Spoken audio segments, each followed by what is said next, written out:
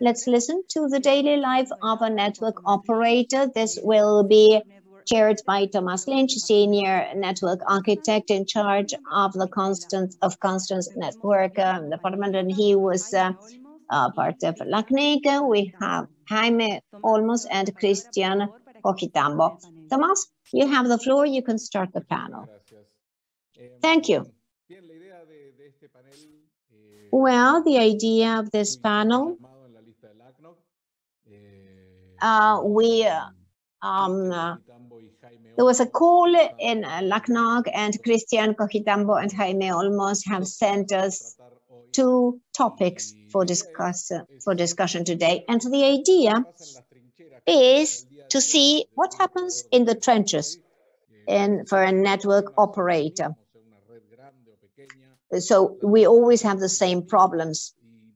The, the uh, problems are always the same.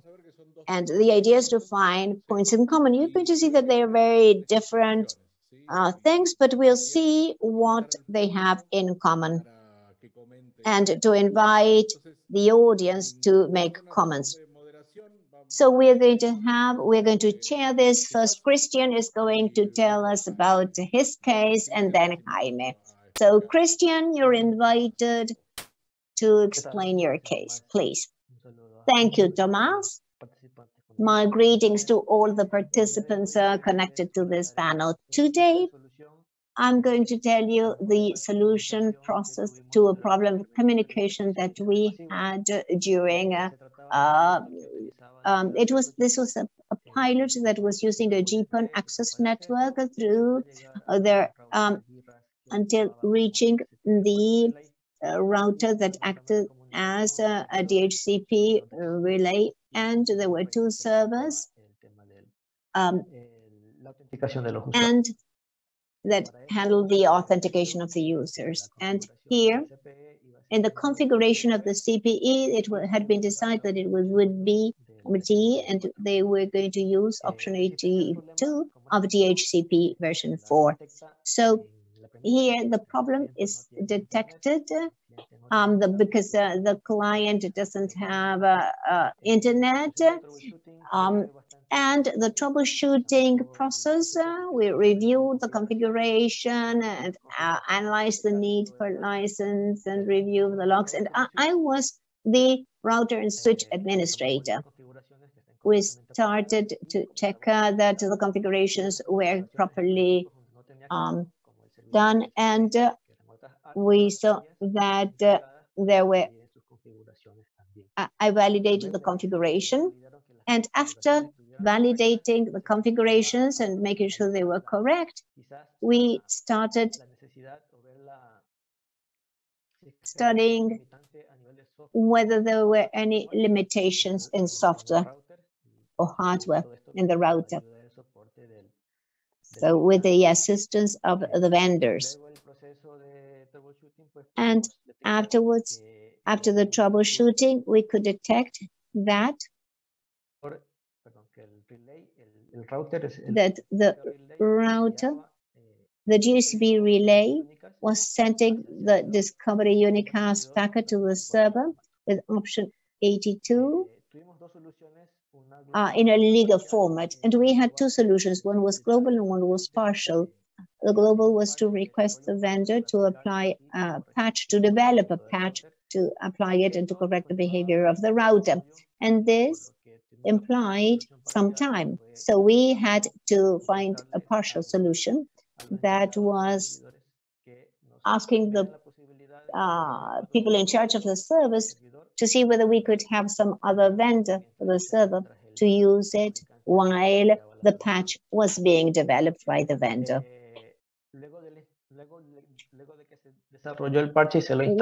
Once the patch was uh, developed and installed, and we saw that the behavior of the router was better, it improved. And as we see in the next slide, we can see here that in red you have the packet. You see the lengths that are inconsistent, even using uh, options that did not exist in uh, option 82. And uh, in you, will, you there were two options uh, in the server. One is to send this as uh, it arrives. In this case, the server was sending the option 82 uh, empty. That was uh, wrong. Excellent, Christian. Okay. Now let's welcome Jaime. So I know, Jaime, that you tried to send me a new version. I'm so sorry. so talk about this slide and correct me if I put the, don't worry, don't worry. Just a couple of uh, ad, adjustments in the sketch. Thank you. And thank you, Thomas. And thank you, Christian, for sharing that. It's striking how to how uh, we combine these problems. I'm, I'm going to talk about the situation that we experienced and that maybe many of you at a certain time went through it too. We we'd always been attacked with DDoS attacks, uh, targeting very peculiar services but in December, we were relaxed. It was a weekend evening, and we received an attack that initially we didn't detect it as an attack. We just started receiving a lot of reports of incidents of people that couldn't access the internet websites of uh, the university uh, for services such as the mail and uh, databases. And so we started doubting, as we were not at the university, we don't have too many operators, uh, engineer 724. Uh, um, so when we want to access remotely to the uh, equipment, this this we, we were unable to do that. So we were worried. So we sent an engineer to see what was going on. The situation turned even more complex when we were unable to access even physically to the devices that you can see in the interconnection to the internet. Obviously, there had been a collapse. And almost absolutely, I'm speaking of carrier class equipment that are have quite a capacity to process traffic. But however, the problem was not the equipment, but uh, uh, the attacks uh, were coming from uh, Eastern Europe and China. So as we identified things, we started to capture traffic in um, the um, um, we, we saw that this the firewalls were overburdened and we started to analyze the traffic and we saw that we were being especially attacked as we had never experienced how to stop this. And uh, although we had little experience to solve it what we did was to sacrifice one of the isps through the bgp we identified the prefix the ipv4 uh, uh, uh, prefix that was uh, being targeted by this botnet. We invoked it on one hand, and that was our solution. And hence, when it comes in, we send it to an null interface. And of course, it went on all um, early morning, but um, as uh, as we had uh, multi-homing, uh, it was very helpful to leave an ISP free. And as you may imagine that attacking 20 gigabits, uh, that's quite a, a, large attack. And But just let me say something to finish. We had never been threatened, but some colleagues here at the university in our country had warned us that a week earlier, they had been warned and they had been threatened that this DDoS attack would happen. So it didn't happen to them, but it happened to us a week later. So this is just uh, what we went through. Excellent. Excellent, Jaime. I have thousands of technical questions for both, but we are going to focus on the on, uh, at a higher level. How long did you did it take you to realize that you, that was specifically the problem? Because sometimes I see, I, I know I know what's happening. A cannot communicate with B, but until I find which of the intermediate systems is failing, it takes some time. How long did it take you to realize? In my case, about five days. I could, uh, it was when I found two root causes. First of all, as it was an implementation, usually the vendors do not assign urgency. They do not consider that it's uh, urgent. They will consider that um, if if there's an outage, that is considered by them as an emergency. So they they don't pay so much attention to that. And the second is that not always do you have access to all uh, the machines that uh, participate in the connection. And I was the switch and router administrator and for support and uh, and revisions of other machines such as the ISP server, I need to interact with other areas. And there, I, I, it's not under my control. Hmm? Jaime? Well, we obviously, a university does not have the SLA, CLA um, level as a, a, provider, but however, the universities depend a lot. Uh, in, in our case, it was not during the pandemic. If not, it would have been even more chaotic. We, it took us, first of all, the uh, announcement was identified immediately. So there are ways we can be contacted indirectly and we identify problems ourselves. But it took us from the time that the engineer came and another group of people, it took us uh, uh, 30 minutes uh, to determine the problem. When you go through these situations that cannot be controlled, well, sometimes we have clashes and one person in the team does something, but it took us about 30 minutes to see that we had something more important. What tools did we use?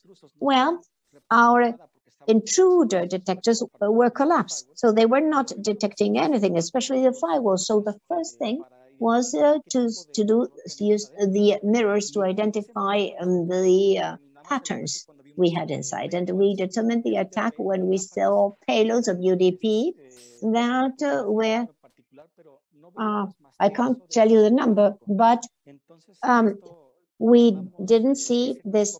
Um, so that that's the time that it took us to find it. And then an additional hour to plan because we started to try to adopt many actions to mitigate it. And it took us about an hour. Identificar y una hora más para, para implementar una acción de corrección. Perfecto. Eh, tu caso, Jaime, es... Your eh, case, Jaime, servicio fue inmediato. is the service was affected right away, immediately. In your case, Christian, this five-day thing, was this affected clients in production or was it something new? This was a pilot. It affected the launching date for a service that is also critical. Perfecto. La siguiente pregunta es... Next question is... Eh, lo que me pasa a mí también es... Estoy what also happens to me, I'm solving a problem and then you start getting the questions. What's wrong? What's happening? It's not working. It's not working. So how did you explain the problem to your clients? Because your clients are your clients' clients, their bosses, their colleagues. How did you explain the problem and the solution to them? And how did you document this? In your case, Jaime, but also for the engineer who's there at 3 a.m. and he started at 11 p.m. He's half asleep how did you document this? How did you explain this solution? Christian, you can start if you wish. Well, eh, my boss, based on the evidence that the routers, then the vendor's router was failing and the vendor was responsible for correcting this and for the patch. In the case of our clients, as implementers, and which is the marketing area, this affected the timeline for the launching of this service. Now, in this case, no delay occurred because we did have some margin, and also thanks to the partial solution that we found, which allowed us to continue providing that service. Proveedor, pues el proveedor Regarding the provider, well, yes, we had to prepare the solution as soon as possible. And you say 14 days, then they want to have the solution in five days' time. And also, hopefully, the patch is a hot patch and not a mitigation. que se vaya a afectar, ¿no? So this might affect maintenance or services. Regarding documentation, because this was an implementation, Lo- lo veo es que este, este caso I view this case, this interaction, client provider, I think this is useful to document the problems that come up y quizás, quizás, pues, with the different operators. So this patch ingeniero al otro lado del mundo- del mundo helped an engineer at the other end of the world who had a similar problem. se ahorró el tiempo de So he saved the troubleshooting stage. So the virus provider finally managed to solve the problem. Yes, yes, he he created a patch. pero bajo demanda, ¿no? Claro. sí. Ok, en este operador se presentó este In the case of this operator, we had this problem and we have to bring about this change, but this was demand-based. And this also is then included in the release notes of the software version. Y en tu caso, Jaime, What about you, Jaime? Me da un poco de risa lo que voy a contar, pero Uh, what I'm going to tell is somehow funny, as long as it's uh, feasible of being told. Well, when we were on site and trying to mitigate this, obviously the bosses always want to know what is happening and if this is a problem that we have, if we don't have capacity to figure out a solution. So although my bosses, because no longer my bosses, these were IT people, they're not specialized in networking. So I recall that one of my bosses was saying, well, but this is what it's reporting. The thing is, is that there are millions of of these he, in in the mailing list when we're attacking something we are informed us. And then he said well report, you're reporting this to them. So i was telling him about all the origins that we had and this couldn't be included in just Eh, one window because there were so many. And so there was a lot of uncertainty because in the past we had never had such a high volume attack and we didn't have the expertise to see how we could mitigate this. So the solutions started to appear. Gradually decided to set aside the bosses because they put a lot of pressure on you. We have a university that works 24 7. And because we were about to deliver all the grades and the exams, this somehow became a crisis. So I'm the person responsible for the Network Operations Center at the university, and I always tell my colleagues, aunque sean jefes y que nos dejen trabajar, ¿no? Y sort of eh, let, tell the bosses to let us work. And this is how we managed to find the solution. Now, how do we document this? Because this has happened in the past. We documented it very well. We have a process whereby through the best practices, we have to leave a record about the problems that came up, explaining the best practices that we have to carry out. And we also had to clearly state the type of infrastructure required in order to continue protecting ourselves, because if this happened once, it can happen again. And a drop in the network leads to, uh, affects all the services, of course.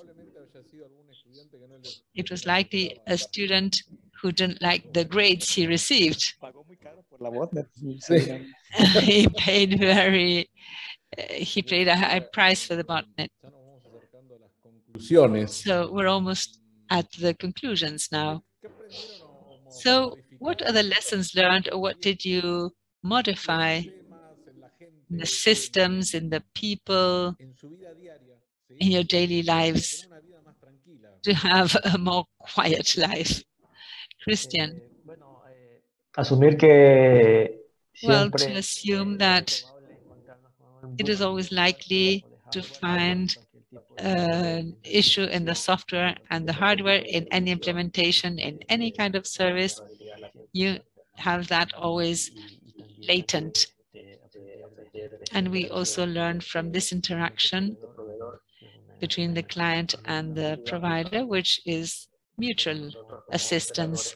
As operators, we provide different services that can be used to detect problems in the provider's software and that might also affect other operators. So it's like a win-win relationship, other providers, sorry. And we also learned how to leave a gap in the projects, not to have very strict timelines, because two hours, this involved two hours of correction and two hours of testing. When you look at the PowerPoint, everything seems to be much simpler. Nothing seems impossible for PowerPoint. Jaime, what about you? There are three points that I would like to mention. creo yo que nos ganó First of all, A veces somos I think reason prevailed. Sometimes IT people uh, sort of uh, idolize ourselves for many, for a long time. We want to have a multi-homing redundant system. And I think it was very fortunate that this was allowed two years earlier. Otherwise, you wouldn't have been able to mitigate the attack. Pero lo que aprendimos nosotros Now, what we learned along the way was initially we have to find secondary alternatives to be able to access the network remotely and to act more uh, rapidly. So there are links that might be connected to a modem to access the consoles without having to move. The 30 minutes time obviously is irritating for the institution. We have an institution that has 280,000 students. So the demand of the services is very, very high, although we are not an ISP, but we are an ISP for our community. We have dedicated links to all the parts of the campus, and none of the campus has internet on their own. They depend on our, on us. And although this is a big region, they are all linked to us. And the other thing that we learned is to start to work on something that we had already discussed at the NOG, is to have probes that are smarter. The CDN, we shared this with you. This is something we shared with you in 2016. And these are tools that were in the prototype stage. And finally, at the moment, they were not there. But after this, we set up these probes and like good robots as they are, could take actions. This is one of the things that we learn into, in order to unblock the traffic so that they would learn from the attack and then this would lead to some kind of control. Great, that's cool. Jorge, do we have any questions? Eh, bueno, eh, de momento no tenemos ninguna. We have no questions for the time being, but I do have a question. It's not in the Q&A, but I have a question. Let's see if they can help us. Eh, resulta que nosotros Now, it turns out that we're always looking forward to receiving information of what happens in the big companies, like the one we saw recently. Now, I'd like to ask the two members of the panel if you consider that documenting and sharing these experiences from an organization, whatever size, like ours, would be useful for other engineers, and if you shared these experiences previously. Eh, Desde luego. Well, yes, Of course, sharing experiences is very useful. Sharing and learning from others, people's experiences is most helpful when you come across a similar situation in your own operations. diferentes servi- servicios, una infinidad de servicios. There are many different types of services. Fixed or mobile services, and we can always learn from other operators' experience. In this case, this was my first participation. So it is always beneficial to have panels such as this in order to learn from the experiences that other people have. En nuestro caso, eh, In our case, creo que en México because this was a university in Mexico, so there's a very close collaboration with the nosotros a través de IEs eh, through Universidad para el Desarrollo del QD, which is University Corporation for University que es otro Development, que también aglomera and another agency, casi todas nuestras we participate with them and share our problems so that third parties can learn from our experience. I'm also part of the CSIRT of CUDI, and what we seek to obtain is to see if other universities have situations similar to the ones we had. We share things with one another. As from 2017, many of the participations we had did not conceal the situations that happened. We're not ashamed of that. We share this information so that the other universities could figure out a solution in the event of facing a situation similar to the ones we had. So all the universities, I think through CUDI, are sharing this information. And now we have a CSIRT at national level for this aim. Bueno, Cristian, Jaime, nos hemos quedado sin tiempo. Christian, Jaime, we have run out of time. I would like to thank you for your participation eh, in this panel. I think this is something that we have to implement as from this LACNOG. Jorge was in charge of organizing this, so thank you very much.